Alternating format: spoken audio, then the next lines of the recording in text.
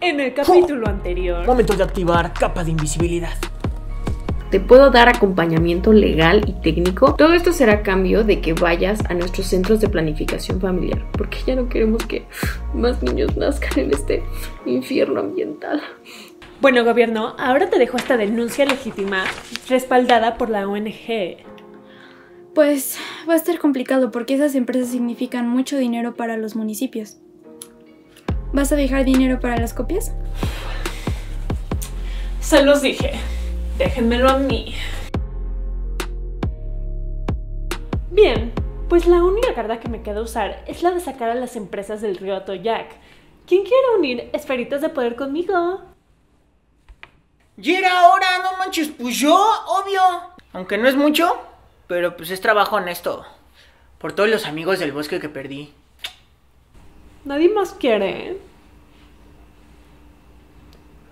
Ah, Pues nos rifamos tú y yo, Cito. Con los poderes que nos quedan, trataremos de tomar las instalaciones junto con los trabajadores, que según la guía del juego están sobreexplotados y en condiciones muy inseguras. Tal vez así podríamos robarle más de una esfera de poder al empresario. No, no, no, no, no, no, no. Se están organizando, aunque por ahora el gobierno y las ONG siguen de nuestro lado.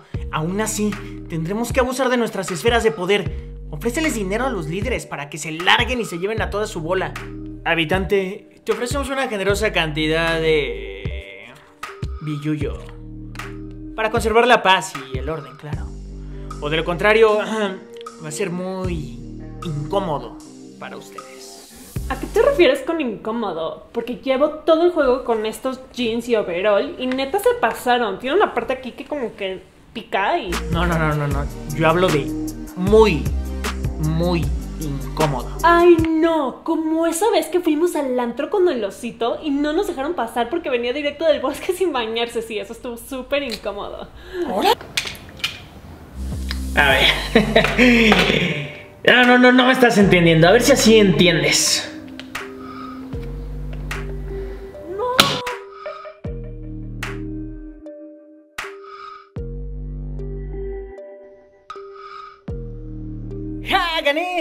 Oigan, ¿y ya no hay el osito? ¿No regresaron del juego? Eso quiere decir que... O sea que si alguien muere en el juego, muere en la vida real. No manches, Bernie, ¿qué hiciste? No, no, no, o sea, yo, yo qué iba a saber, creí que esto era solo un juego. Además, mientras representaba al empresario, no sé, como que algo se apoderó de mí, algo así como de sentimiento de solo acumular riqueza, o sea, a costa de personas y el ambiente. Igual yo, cuando era el gobierno tenía la sensación de indiferencia y de querer controlarlo todo.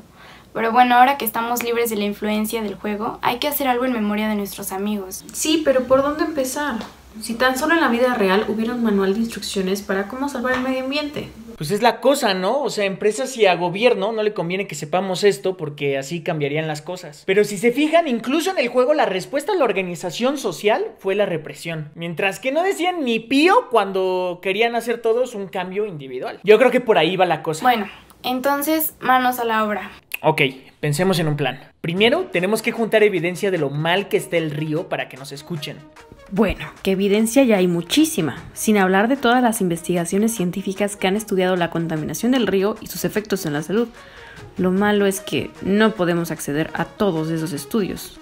Pues hay que escribirles a esas científicas para que nos pasen sus datos o que incluso los usen directamente en denuncias, como lo han hecho algunas ya. Ahora, también tenemos que investigar quiénes son los responsables de estos problemas. Encontré la lista completa de fábricas.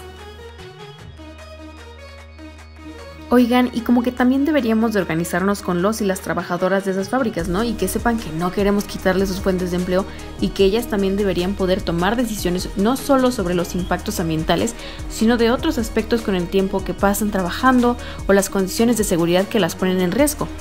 Y ahora sí, metemos la denuncia con la institución que se encarga de resolver estos casos, la Procuraduría Federal de la Protección al Ambiente.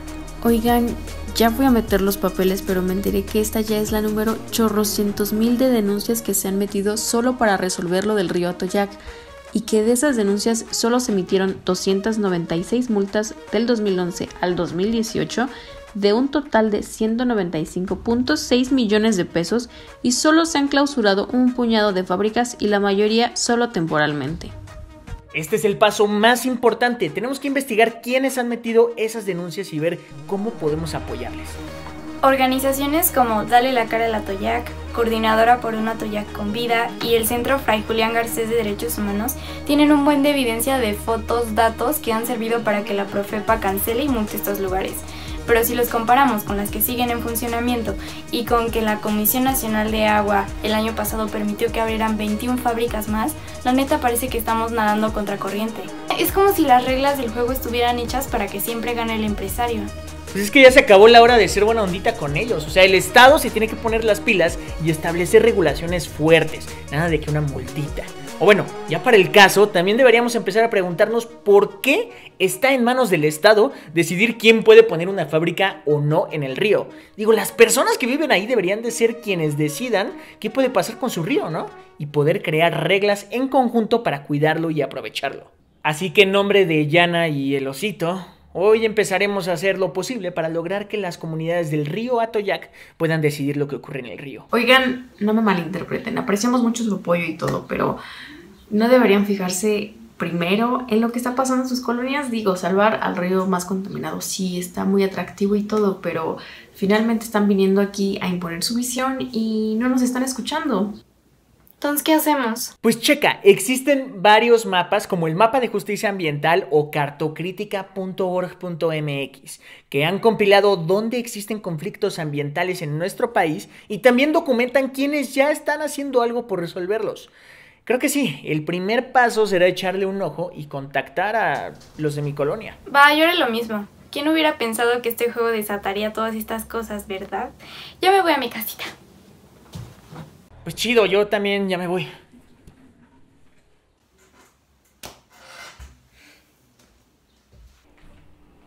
No, pues es lo bueno de cuando pierdes en un juego de mesa. O sea, te da tiempo de ir por un snack, ¿a poco no? Ay, pero qué chiste tiene si ni siquiera tienen opciones veganas ni orgánicas para mí, o sea, Oye, ¿qué? espérate. ¿Y los demás?